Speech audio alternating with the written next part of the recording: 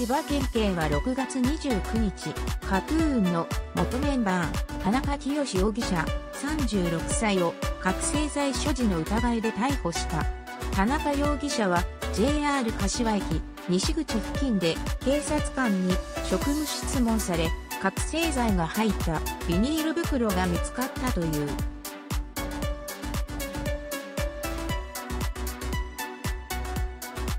2017年5月に大麻を所持していたとして渋谷の路上で現行犯逮捕されたものの不起訴処分となっている田中容疑者。その後、芸能活動を再開したが、今年2月に覚醒剤取締法違反の容疑で逮捕され、6月20日には懲役1年8ヶ月、執行猶予3年の有罪判決を受けていた。それからわずか9日後の今回の逮捕劇に、ネット上では、田中清は止めたいんだよね。けど止められないのが、覚醒剤なんだろうな。薬物依存の怖さを思い知らされる。薬物依存ってよほど何かを変えないと無理だと思う。などと、やめたくてもやめられない薬物の怖さを実感したという声も多い。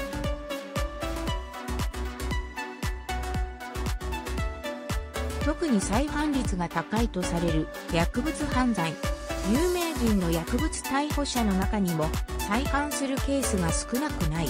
その背景には芸能人が薬物の売人にとっての乗客となっていることもあるという。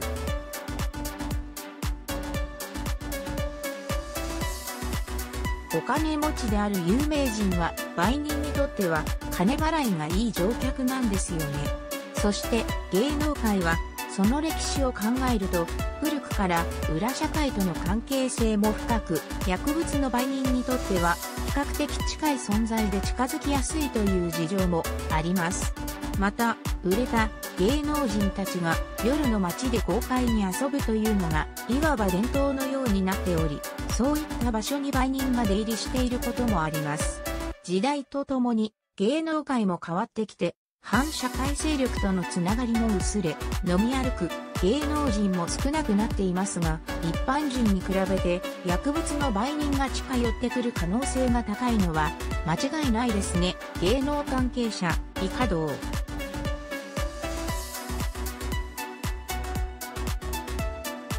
薬物で有罪判決を受けた芸能人が一定の自粛期間を経て活動を再開することも多い。かし、その芸能人は復帰できる場所があるという事実が甘さになっているのではないかとの指摘もある。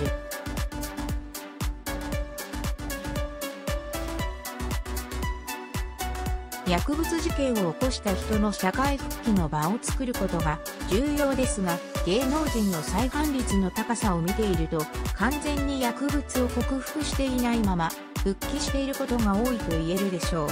タレントは人気商売ですし、固定ファンがいるならば、ファンのためにという思いもあって、早期に復帰することが多いのも確かです。そして、復帰後の芸能活動が軌道に乗ってくると、また前のように薬物の誘惑が近づいてくるというパターンに陥りがち。いわば、社会復帰の道はあるけど、薬物依存克服のノウハウがないのが芸能界の現状なんですよね。犯罪者のセカンドキャリアは大きな問題であり、薬物で逮捕された芸能人が再び芸能界で活動するのはとてもいいことだと思います。しかし、それと同時に薬物依存克服のためのプログラムを受けさせるなど、再犯防止のための施策も必要だと言えますね。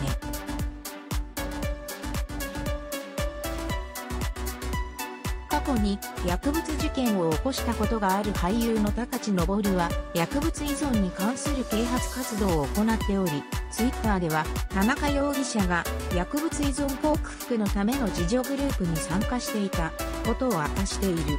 さらに、理性ではコントロールできなかったと思う。依存症がより進行していたのかも、できるだけ早く治療の機会を与えてほしいとコメントした。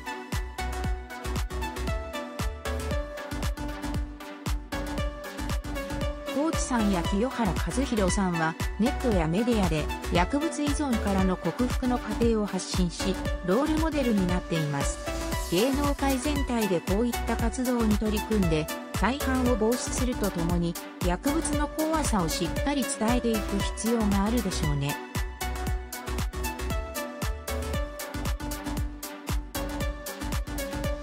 コーチは田中容疑者に対してツイッターで次のロールモデルになるのは聖君だよとメッセージを送っている。まさに田中容疑者の今後次第では芸能界における薬物事件現象につながっていくかもしれない。